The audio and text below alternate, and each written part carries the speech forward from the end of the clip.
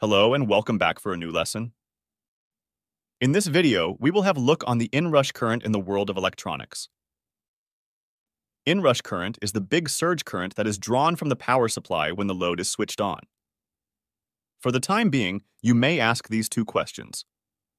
What is causing this inrush current, and why should I care about it? Inrush current is caused in general by capacitors, motors, and transformers. Depending on its value and on your application, inrush current can be harmful for the upstream circuitry, PCB tracks, and even electrical wires when going beyond the limits. It can also generate wrong error diagnostic if it is confused by your protection system with a short circuit. There are two big families of components in electronics, the active components and the passive components.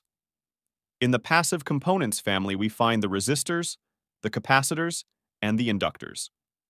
The inductors and capacitors have the ability of storing energy, which results in a high surge current when you first apply a voltage to a circuit containing those components. In this video, we'll cover only the capacitors as they are always used in the most of electronic systems and circuit boards. In a capacitor, the inrush current depends on value of the capacitance, the input voltage, and the time of change of input voltage from 0 volts to the, the final value. This time is called slew rate or the rise time. When you initially apply voltage to a circuit containing a capacitor, there's effectively no charge stored in the capacitor. Therefore, the initial current flowing into the capacitor can be very high because there's no opposition to the voltage change. For example, you have four capacitors in your circuit and you have a, an input voltage with a slew rate of 2 microseconds per volt. This means a total rise-up time of 24 microseconds to jump from 0 volt to 12 volts. When those parameters are known, it is very easy to calculate your inrush current. In this case, the inrush current is 12.4 amperes. As you can see in this circuit, I added a resistor to simulate an electrical load of 20 ohms that is consuming a current of 0.58 amperes.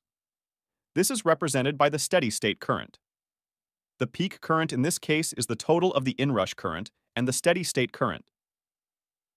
Now, you have done some analysis and calculations to check your circuit, and you realize that the inrush current should not exceed 6A to stay within the limit of your PCB tracks and that input diode. When you look a second time at the equation of inrush current, you can increase the rise-up time to reduce inrush current.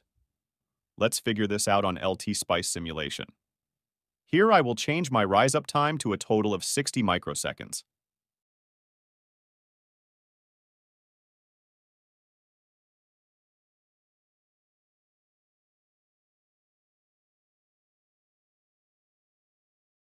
As you can see, the peak current has been reduced from 13 amperes to 5.5 amperes approximately. All right,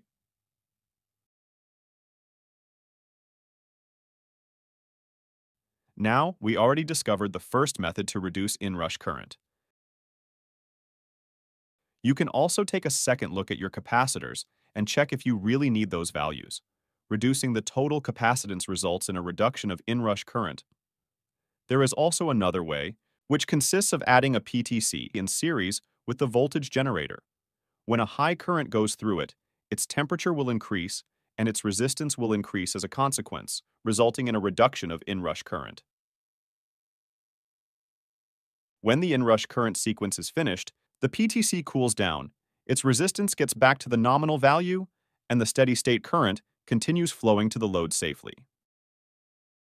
If you are using a voltage regulator IC nowadays, the most of those regulators have a feature that allows you to control the rise time of the output voltage. This function is called soft start by calculating the value of a very small capacitor that you place at that specific soft start pin. You can adjust by hardware the rise time, resulting in good control of the inrush current at that level. According to the datasheet of this regulator, there is already a soft start time of 380 microseconds by default, but if we want to increase it, we need to place a capacitor at the pin SS, following that equation. In this example, we can manage the inrush current caused by that output capacitor of 2.2 microfarads. Let's calculate a soft start capacitor for 1000 Us and run an LT Spice simulation to see the difference. as you can see, increasing the soft start time from 380 microseconds to 1 millisecond, reduced the inrush current from 76 milliamps to only 17.2 milliamps on the output capacitor. Let's recap. Inrush current is caused by circuits using capacitors and inductors. Inrush current can be harmful for upstream circuits, PCB tracks, and electrical wires. It might trigger internal protections of some IC drivers or regulators. Inrush current is proportional to the rise time of the voltage, the voltage itself and the capacitance. Inrush current can be reduced by increasing the rise-up time, by the use of current-limiting components such as PTC, or even more specific circuits from the market. And more than everything inrush current must be considered for the sizing upstream components, tracks, and wires. If you love this lesson, please don't forget to like and subscribe and see my other videos. See you soon!